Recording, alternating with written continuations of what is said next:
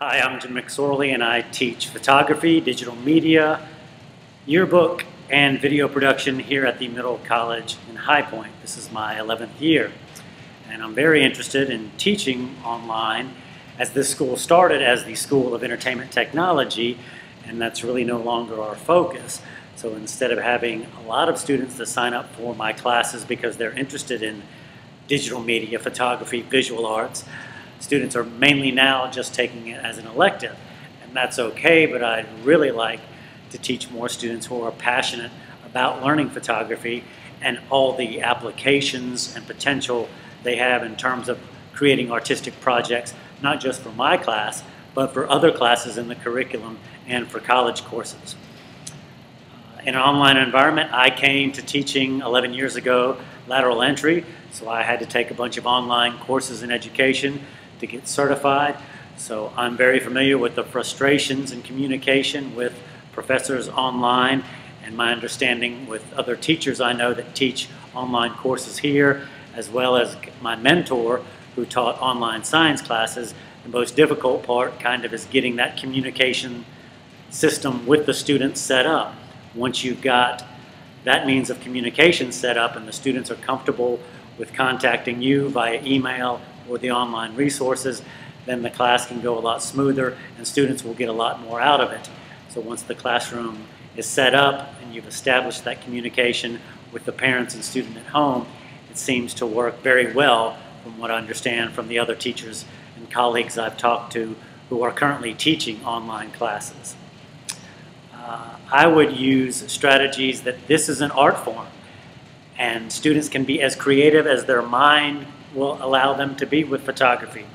That my visualization of art and photography could be completely different from the students' visualization, and they are free to create their art, their photography, however they feel.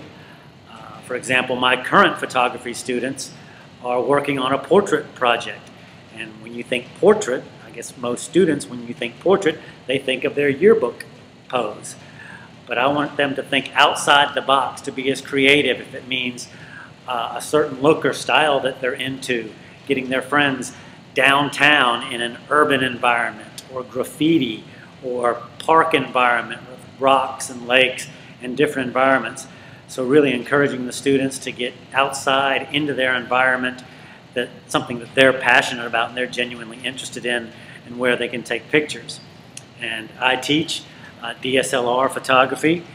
I don't have a DSLR with me right now because my students have checked them out, but I do teach the different applications with interchangeable lenses, but mostly uh, folks nowadays uh, take pictures with one of these.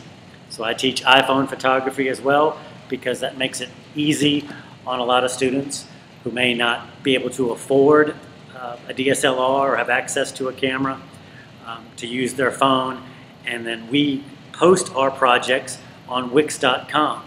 So I use a variety of online resources for the students to be able to show off their work and also see examples of photography.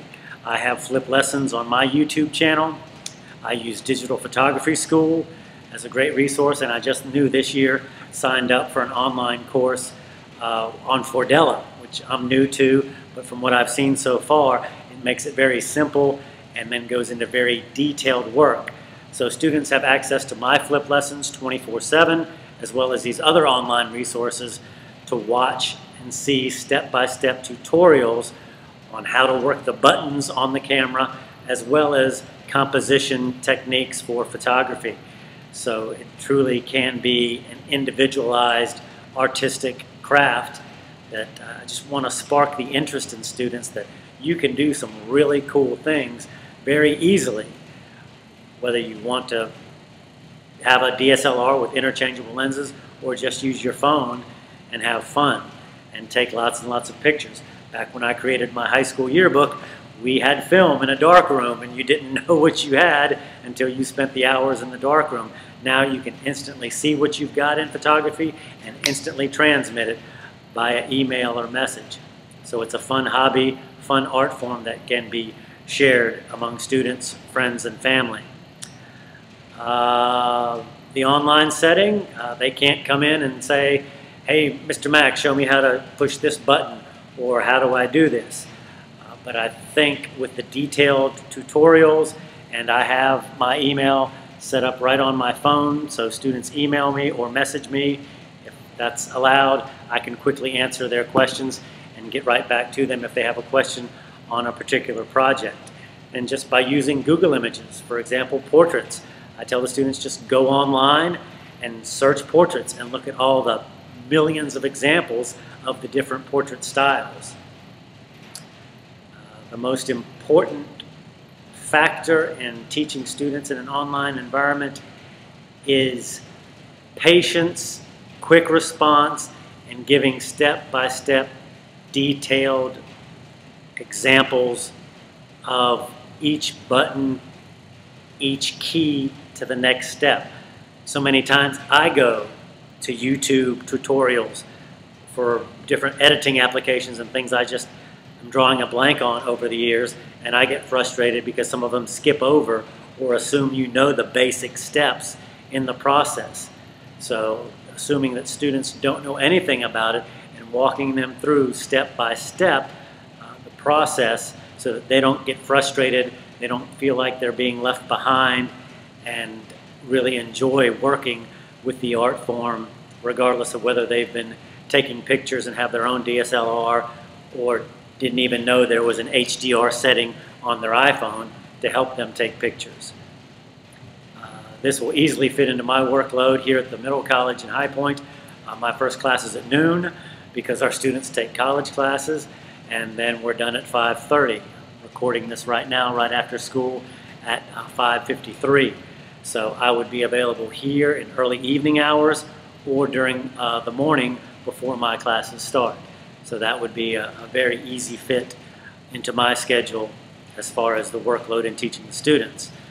On a scale of one to four, uh, I would say a five. I love new technology and working with the, the newer phones that have photography applications. In fact, I just had a student today show me an application that she had downloaded on her iPhone that helps her edit and work with pictures.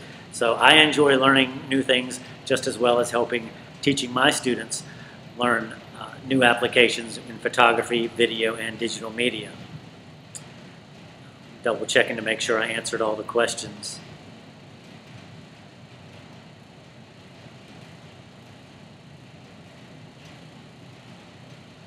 A student who may not be excelling. Um, I have several students with special needs who are not gifted in technology, and I allow them to work at their own pace, to submit projects that maybe don't require as much detail as other students. Uh, but beyond that is that this is, this is art class. This is like taking a music class or art class in school. This is supposed to be fun where you can be uh, creative. So encouraging them not to get frustrated or if they see examples of other students' work, to not say, oh, I'm never going to be able to do that, to work at their own pace and see their own creative progress throughout the course. I have students that knew absolutely nothing, had never held a camera, couldn't tell the lens from the viewfinder, who now do some beautiful work and come in every morning wanting to show me, check out these new pictures I've shot. So I think just being patient and realizing that not every student's going to be able to go downtown to take pictures or go to a park. They may be confined to their own neighborhood environment, and that certainly will provide plenty of opportunities for picture taking. So I hope I answered all the questions. I really would love this opportunity and hope it works out. Thank you very much for watching the video.